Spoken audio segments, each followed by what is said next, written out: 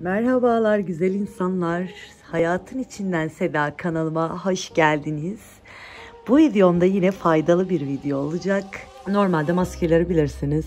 Evde bile hazırlayacak, hazırlayacak olsak ki ben de aynı şekilde hemen işte aman ya uğraşamayacağım, onu yapamayacağım, bunu soyamayacağım falan deyip böyle üşendiğim ve maske yapamadığım zamanlar oluyor.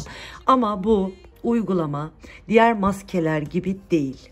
Başlıkta da görmüş olduğunuz üzere dünyanın en kolay maskesi uygulaması diyebilirim buna.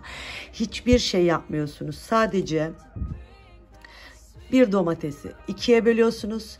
Bir de pirinç ununuz varsa hemen bunu yapın. Herkesin evinde pirinç unu ve domates vardır zaten. Domatesi ikiye bölün.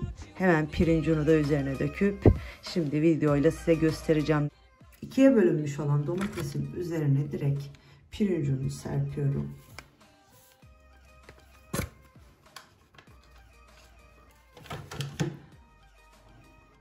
Hafif şöyle sıkıyorum.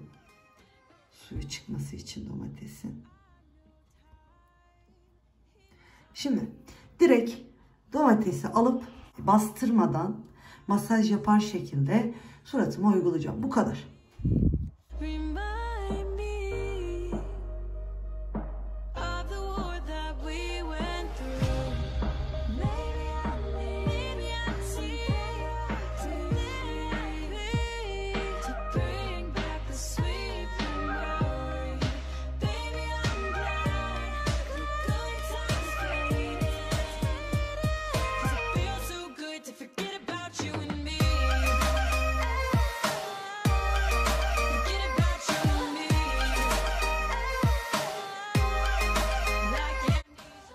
Üzerindeki pirinç unu bittikçe üzerine yine ekleyip tekrar aynı işleme devam edeceğim. Komple yüzüme bu şekilde yapacağım. Domatesin içerisindeki asit sayesinde lekeler açılıyor. Pirinç unu sayesinde cildimiz beyazlıyor.